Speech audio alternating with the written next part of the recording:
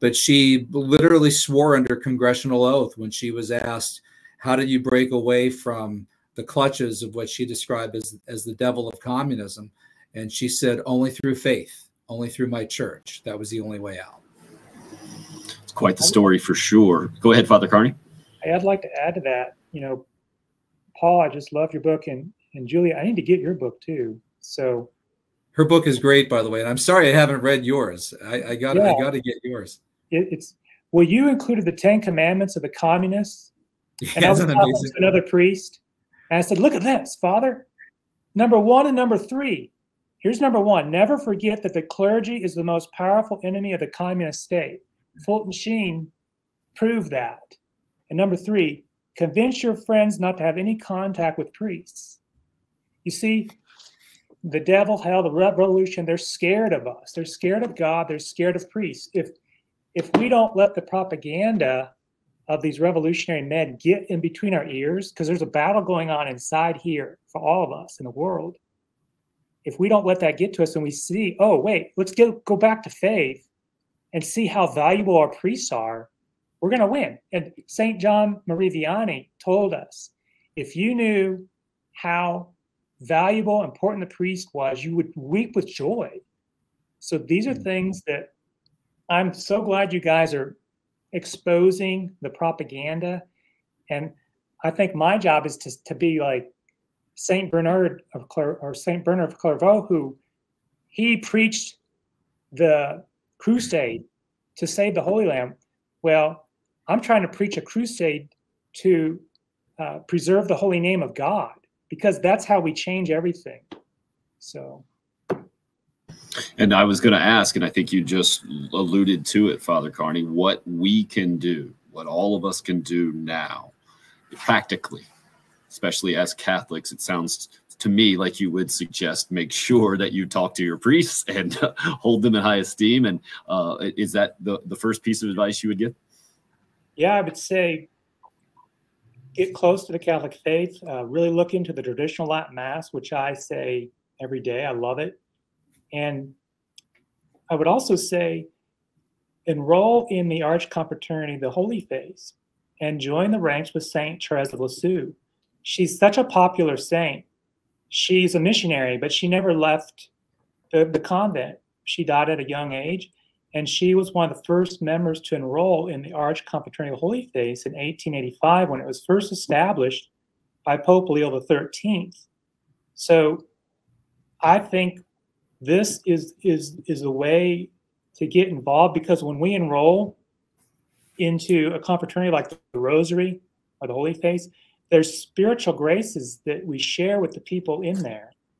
So to be involved with her mom and dad, um, the Martins, who are saints, that's a great clout of people to join ranks with to fight against the enemy. And in the Old Testament and in Ezekiel, we have to have hope and faith and, and, and joy about the future because God's got this taken care of. It's just contingent on us. When there's only a few good people that are really trying to stand up for God's rights and to be just for their neighbor, it only takes a few good people to to combat a large mass of evil people.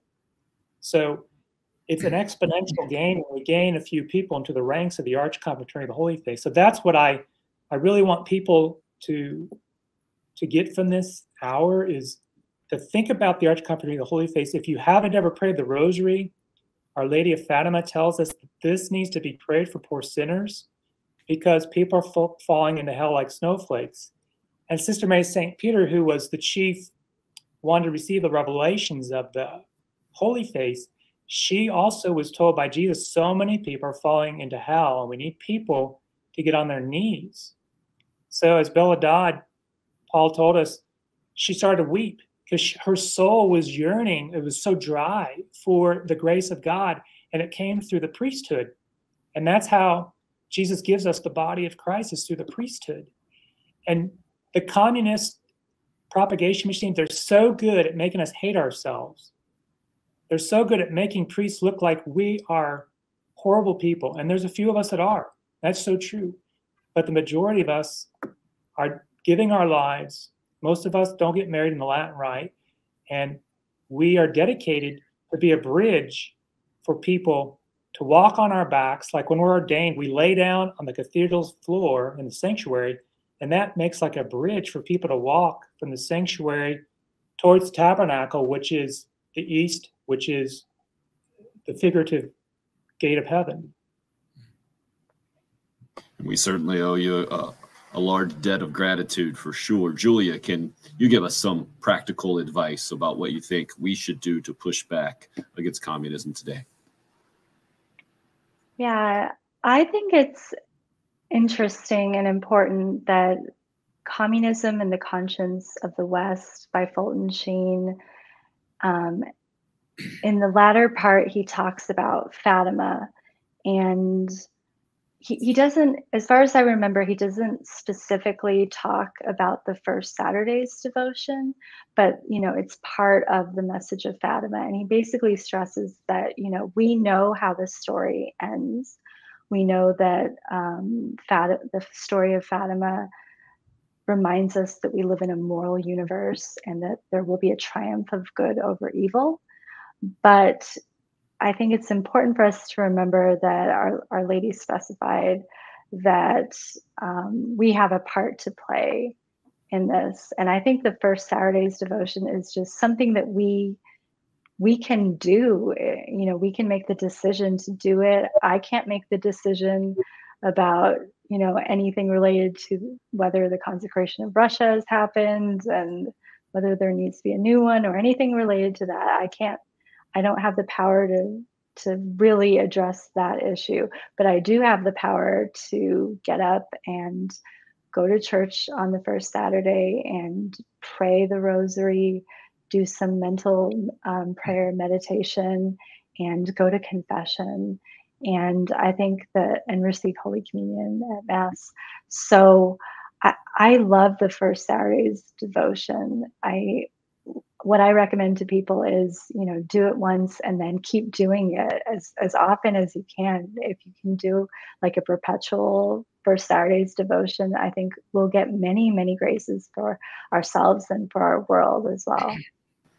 Paul, any advice from you for Catholics, people today to to do their part to, to fight communism? Well, I would quote um, probably three of the favorite words of Pope John Paul II be not afraid and you know he took a bullet on the feast day of our lady of fatima may 13th 1981 from a shooter named Mehmet Ali Agca, who was working for the Bulgarians under orders from the Soviet GRU with the green light of Yuri Andropov and the KGB. They, you know, the communists actually tried to kill the Pope. They actually tried to murder the Pope, and he would he would go there to the people of Poland uh, when they were surrounded by the communist secret police and people were chanting we want god we want god. He told them be not afraid. And that was certainly the motto effectively that bella dodd pursued as well. You know, she became this courageous witness who was smeared you know called anti-semitic um, a racist every every every phrase that they could come up with. They would have called her a homophobe if they had the word back then right? Um, every every word in the playbook but but she pushed forward to fight against evil, an ideology that she considered, like her church, eventually literally from the devil, and uh, and fought on behalf of truth and good. So be not afraid.